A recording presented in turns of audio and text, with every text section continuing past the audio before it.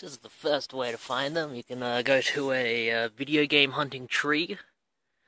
Uh, it has many different names in many different countries. The Spanish call it El Video Game Libre, and the English call it the Video Game Hunting Tree. So you can often find just the uh, fruits of the tree often fall down, but by the time they hit the ground, it's often a title you don't really want. So you can also see them kind of sprouting out, and you know if you'll either let them grow long enough, they'll become a good title, or if you just want something quick, you can pick them off like that and just have them as they is.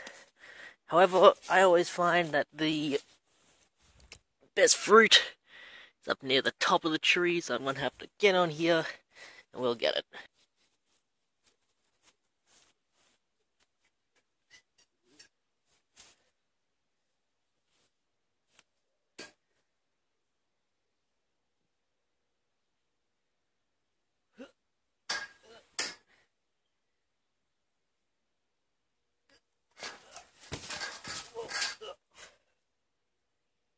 There we go.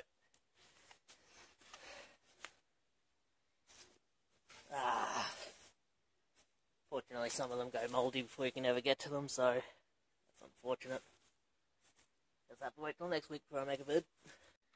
Now, not all video games grow from trees. Sometimes, after they've grown from a tree, they'll want to escape underground. So, once they fall down, they will attempt to burrow their way into the ground until they can ferment and grow into a new tree, similar to many other kind of species. Now, thankfully, they don't stay too far underground, only about 20 centimeters or so, and similar to water, if you have a divining rod, you can find them very easily. And in this case, the divining rod is actually the controller for the type of thing you want to find. So I'm looking for Sega games, so I need to use a Sega controller, so let's see if we can find any around here.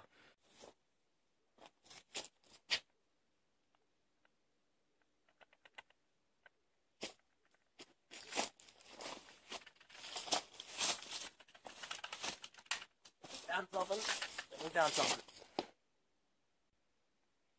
The diviner was at its highest strength around this area, so we will grab a shovel and see what we can find. I'm very excited. Oh, oh. We found it. There we go. A good find. And almost in mint condition.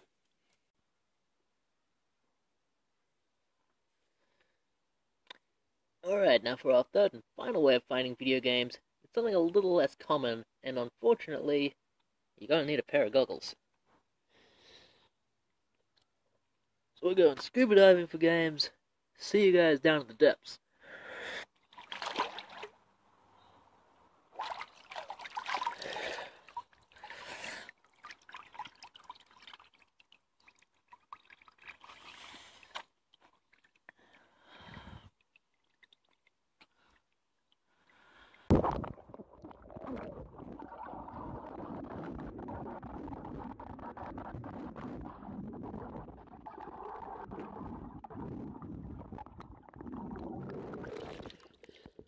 There we go.